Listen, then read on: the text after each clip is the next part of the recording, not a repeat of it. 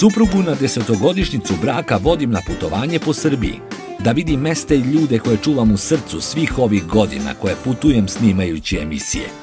U selu Lužnice kod Kragujevca, u Geografskom centru Srbije, organizovali smo obračun iskusnih pecaroša.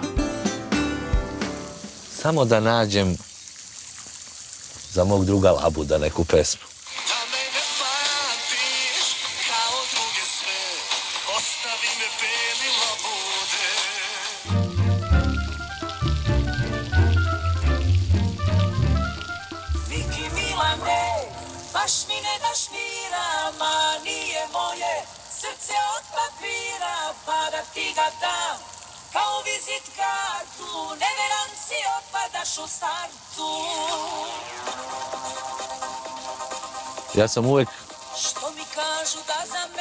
uvek sam pecao ribe na muziku.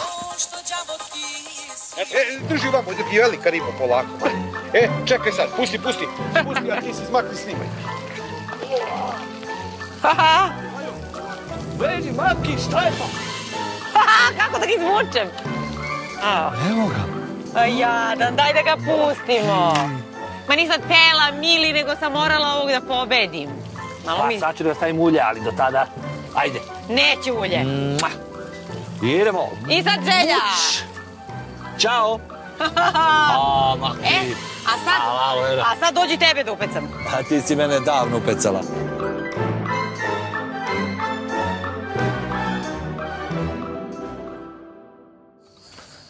Jedinstvena prilika da bude čovek u kući, onoj pravoj srpskoj, koja je stara skoro 130 godina. I to u centru Srbije, u sred Šumadije. Stvarno je ovo geografski centar Srbije. Selo Lužnice, tu je i selo Drača, znači to je centar Srbije baš pravi, onako naučno gledano. A za Dragu, specijalno kafica za pobednika u ovom pecanju. Izvolite, molim vas. Opa. Da, da. Da, da, to su ti savremeni muževi koji jednostavno... To je taj spoj tradicije i modernosti. Izvolite, molim vas. Jedna kafica. Mm. Mogu ti reći da je lep dan bio. Jeste, sviđa mi se. Nije mi žao što sam rekao sam da. Ne, nego što sam rekao da. Svešteniku i onoj gospođu u opštini.